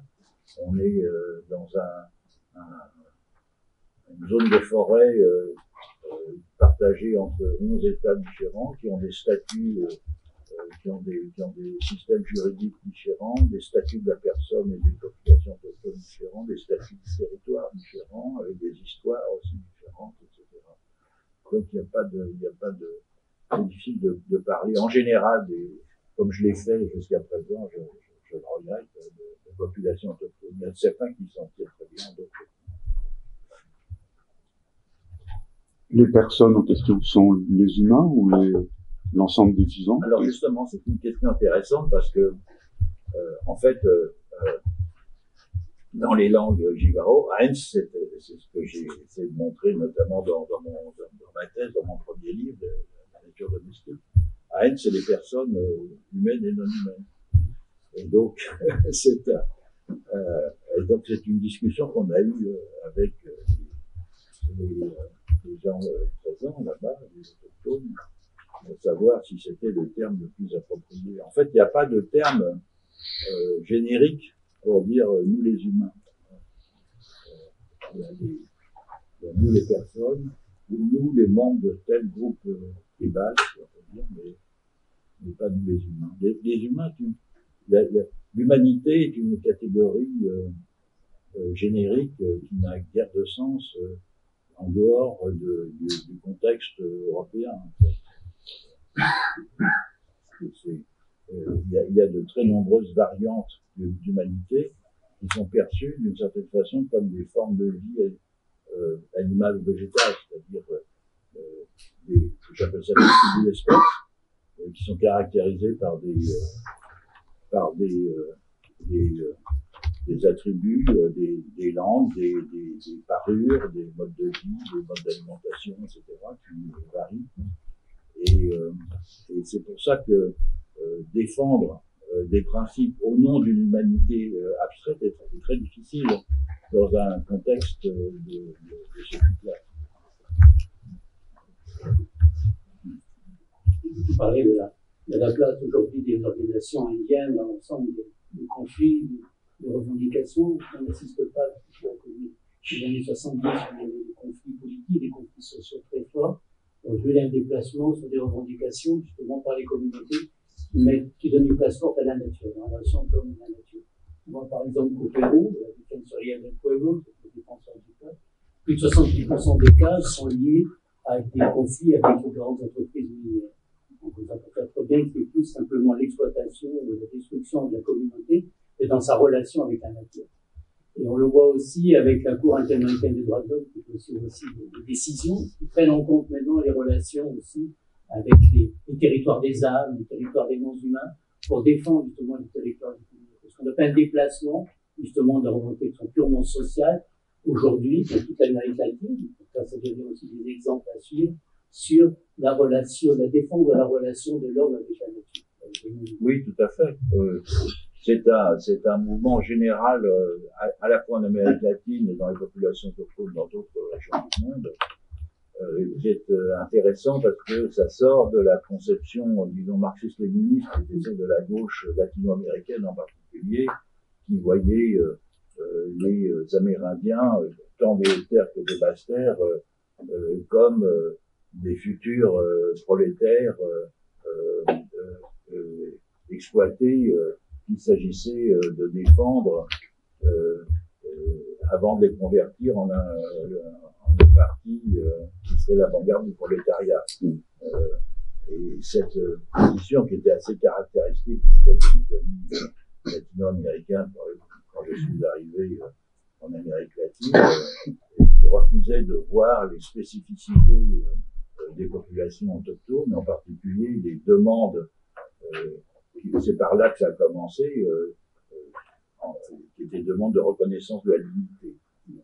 Donc le droit à porter euh, son, un costume traditionnel, le droit à parler sa langue, etc., etc.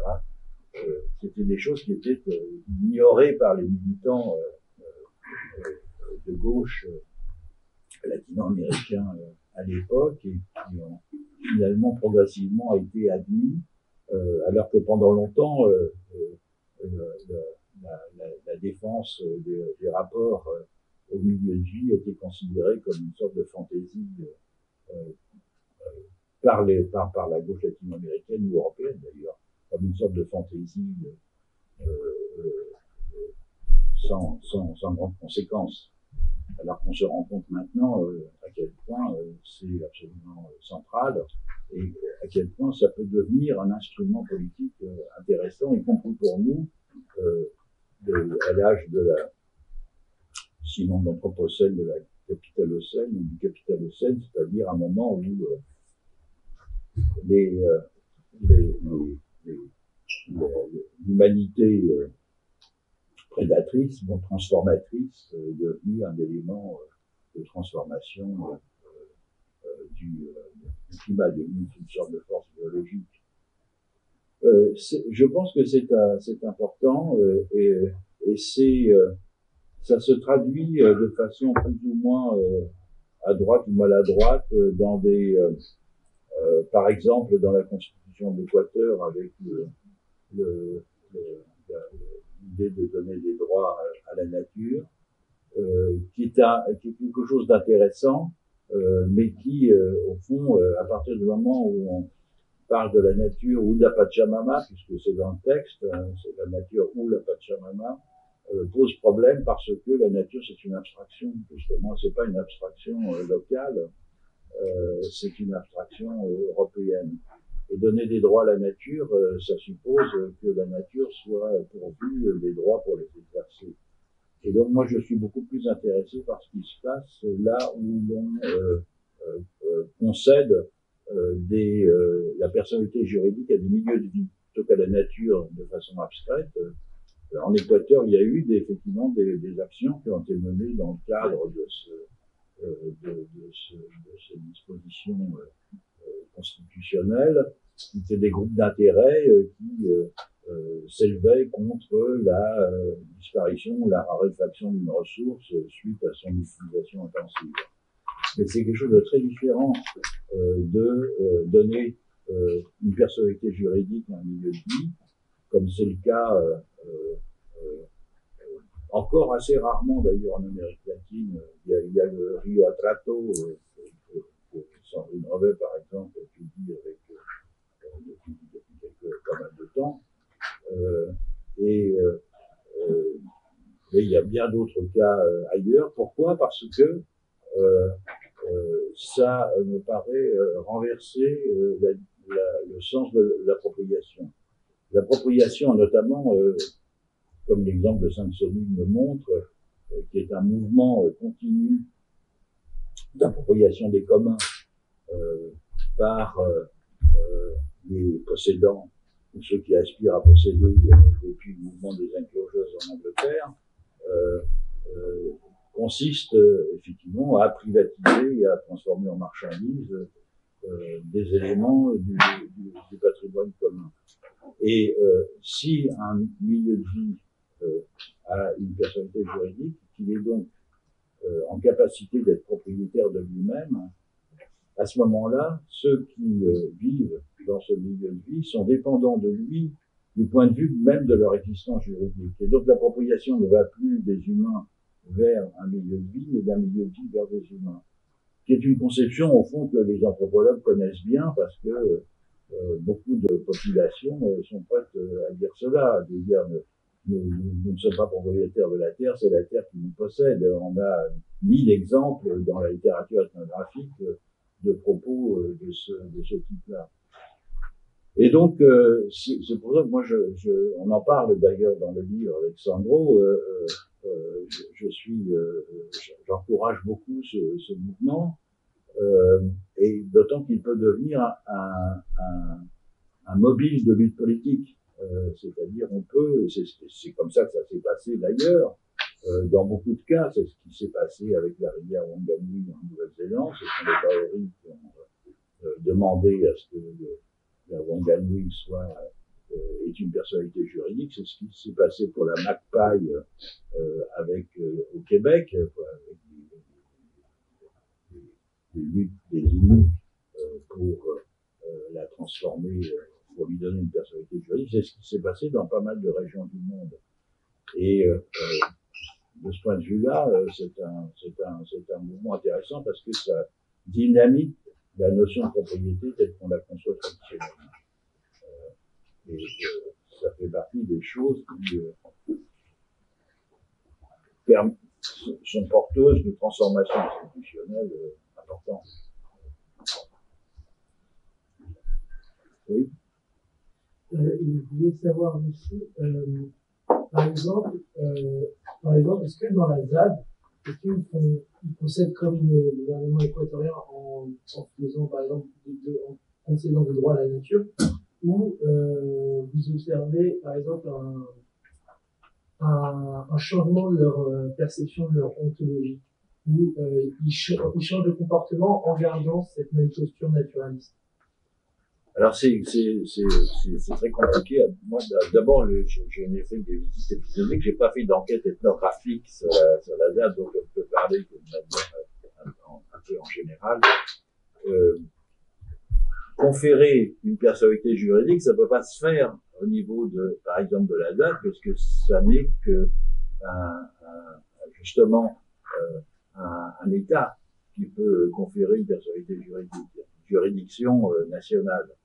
Euh, donc, euh, au sein de la, de la ZAD, des, ce sont des occupants sans titre pour le moment qui essayent euh, d'obtenir du Conseil général des baux ruraux pour travailler la terre parce qu'ils sont expulsables, comme on l'a vu à plusieurs reprises, à merci. Donc, il ne s'agit pas de, de, pouvoir conférer une personnalité juridique à la, à la ZAD comme ça. Euh, cela dit, euh, et donc ça suppose, bien sûr, euh, comme je disais tout à l'heure, la lutte pour la personnalité juridique, ça se passe sur le front que j'évoquais tout à l'heure, c'est-à-dire le front de la transformation de l'État. C'est-à-dire arriver à des États euh, démocratiques, sobres et participatifs dans lesquels on puisse exiger précisément que certains milieux de vie aient, une, aient une autonomie une personnalité juridique. C'est pour ça que ce front-là n'est pas non plus à abandonner. loin de là le, le, le, ce, qui est, ce qui est frappant, c'est que, euh, je le disais tout à l'heure, les, les, les, habitants euh, de la ZAD sont des gens qui viennent d'origines assez diverses et qui, au fil du temps et des pratiques, au fil de l'expérience, euh, en sont venus d'abord acquérir des compétences euh, euh qu'ils n'avaient pas au départ. C'était pour beaucoup des urbains. Et donc, ils font de l'élevage, ils font de l'agriculture, du maraîchage, etc et qui, d'autre part, euh, au fil du temps, sont venus à s'identifier profondément euh, avec euh, un, milieu de vie très particulier, une zone humide, et dont certains sont des très bons connaisseurs. Il y a des naturalistes, alors, au sens traditionnel du, terme, qui m'en veulent un peu d'avoir jeté l'opprobre sur, sur le terme naturalisme, parce qu'effectivement, le naturalisme, c'est aussi une pratique de connaissance et de description euh, euh, euh, des milieux vivants.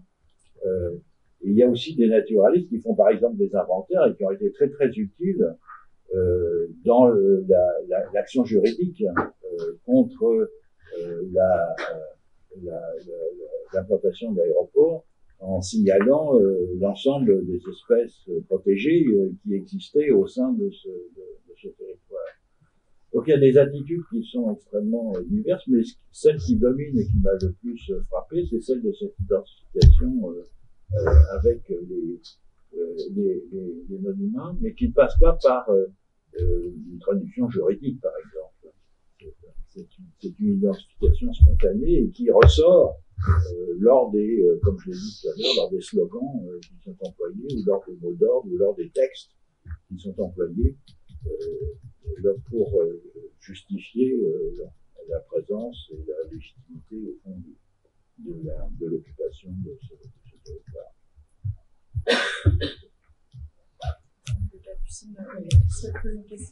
Merci, euh, merci beaucoup. je crois qu'on est tous en train de profiter en fait d'une parole à la fois philosophique et sage dans une lumière de, de fin de comme ça. on est tous, je suis très frappée de la qualité de l'attention euh, de, toute la salle euh, pour euh, à la fois les questions posées et, des réponses, des questions qui sont et, où tu as adapté tes réponses avec un langage très philosophique, très anthropologique et puis euh, puis tout simplement aussi euh, de, réflexion,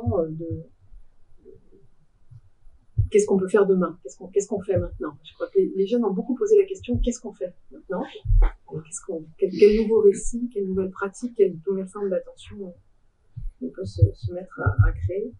Euh, J'ai envie de, poser une dernière question, si je peux, euh, parce qu'on a, a présenté dans une séance antérieure un, livre de Christine Chivalan euh, qui s'appelle Humain inhumain, qui porte plutôt sur le, le, le plantationnocène, euh, terme qui, rivalise avec celui de capitolocène et qui, euh, et qui remet euh, la capacité de l'être humain à être particulièrement inhumain, notamment avec euh, la traite et, l'esclavage, à partir du XVIIIe siècle, qui se met en place de manière très très forte, précisément au moment des, au Lumières. Donc j'avais assez envie de, de, de, poser la question qu'est-ce que qu'est-ce qu'on pourrait faire de ce troisième pied finalement qui en fait fait partie de ta réflexion comme on l'entend là ici euh, entre humain, non humain et inhumain. Mmh. L'inhumain, c'est ce contre quoi euh, on se mobilise, de cette façon. Et euh, tu disais que faire, c'est lutter contre l'inhumain, lutter contre les formes humaines de dévastation euh, des, des, territoires et des traitements et des, et des, des caractères uniques des traitements des, humains. Et euh, il y a un, domaine de recherche dans le, livre que tu, mentionnes euh, fait partie, euh, qui est euh, l'analyse des conditions dans lesquelles le capitalisme industriel a pu émerger grâce précisément à l'économie de plantation et à l'esclavage. C'était des choses qu'on avait longtemps séparées, euh, alors qu'on se rend compte maintenant que l'accumulation de capital qui a permis le, développement euh, du capitalisme industriel et, en particulier euh, toutes les technologies liées au transport de marchandises et au fait qu'on pouvait faire des profits en, produisant euh, des euh, marchandises euh, sur des territoires très lointains que des pays comme le Royaume-Uni, qui avait un territoire euh, extrêmement restreint, n'aurait pas pu autrement euh, produire. On se rend compte maintenant à quel point le, colonialisme, notamment celui du XVIIIe siècle, a permis le développement du, Donc c'est une ces, formes d'inhumanité, qu'elles soient dans le traitement des humains ou qu'elles soient dans le traitement euh, des, des, lieux de vie. Au fond, les, les, les, esclaves étaient des choses de la même façon que les populations amérindiennes euh, que, que l'on délogeait de leur territoire euh, en Virginie ou ailleurs étaient des choses, ou que les euh, milieux de vie euh, que l'on transformait pour que l'on des, des forêts que défrichait pour faire des, des plantations de coton étaient des, choses de cette chosification généralisée euh, est euh, tout à fait caractéristique d'un traitement conjoint euh, des humains et des non-humains. Donc c'est, c'est il n'y a pas à trier dans la lutte contre, la, dévastation. Est, est, est, elle est générale. Euh, euh, je pense que c'est, alors on, ne lutte plus contre l'esclavage, encore qu'il subsiste ici ou là maintenant, mais c'est dans, des formes très très différentes de l'économie de plantation. Euh, cela dit, euh, la, l'infériorité euh, traitée euh, à des êtres euh, traités comme des choses, ça continue. Et ça continue, y compris dans les pays européens.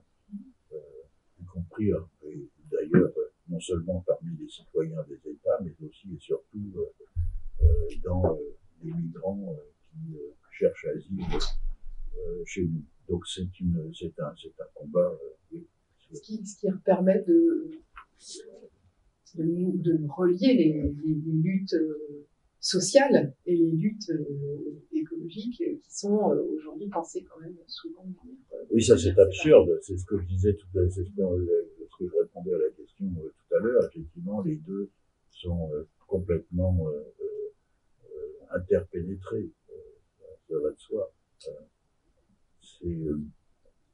C'est, c'est, au fond, la, la, on, on, on, pâtit encore de, de, la, de la traîne euh, de, du, socialisme du, du 19e siècle qui était fondé euh, sur euh, l'idée que euh, tout allait changer si on récupérait la, maîtrise des moyens de production et donc qu'on transformait, quand il y avait une propriété collective des moyens de production parce que euh, l'augmentation des richesses allait permettre l'émancipation et la, le dépérissement de l'État. Et cette idée, euh, qui, est, qui, est, assez générale chez les socialistes du XIXe siècle, elle est euh, effectivement fondée sur l'absence de, de, considération que cette augmentation des forces productives elle est impossible parce que euh, il y a des limites euh, à, à, la, à, la, à, leur usage sur la terre.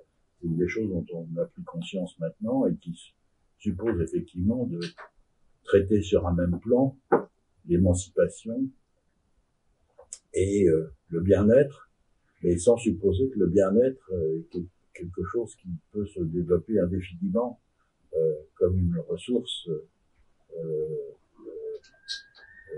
qui suffirait de, continuer à exploiter pour rendre les gens heureux. Voilà. Donc c'est la difficulté présente. Hein, le socialisme du 19e siècle avait un côté prophétique que qu'on ne peut plus avoir.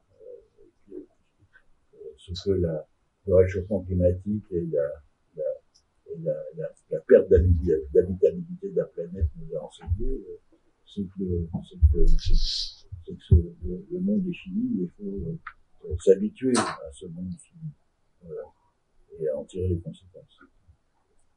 Merci, merci beaucoup, euh, Philippe. Je crois qu'on on, sent bien aussi la, la façon dont ta méditation et oui, ta contemplation du monde et les différentes manières de différentes mondiations et différentes manières de faire monde euh, sont pour toi des, des, des, lieux d'espoir hein, pour, pour, lutter contre cette, cette du monde.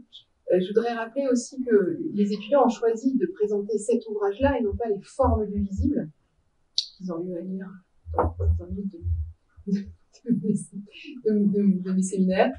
Euh, c'est pas pour rien. Je crois qu'il faut absolument continuer à, à faire des livres euh, à la fois grand public, euh, à la fois très euh, très académiques, très exigeants euh, du point de vue de la, de la rigueur de la réflexion et, et du vocabulaire. J'espère que c'est une bonne manière de, de, défendre, par rapport à ce que disait David Dumoulin tout à l'heure, euh, euh, la nécessité euh, pour nous de, de, continuer à étudier et que c'est pas en, étudiant, on ne se coupe pas du monde, on participe à, à, à le comprendre et, et, à le transformer aussi.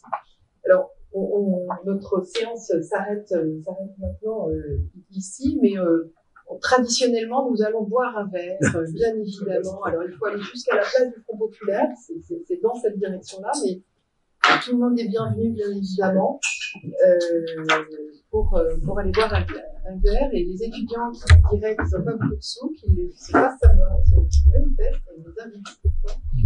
Pas de, ne s'excluent pas en se disant, euh, je n'ai pas mes, mes 5 euros pour euh, la happy hour, Merci beaucoup. Merci.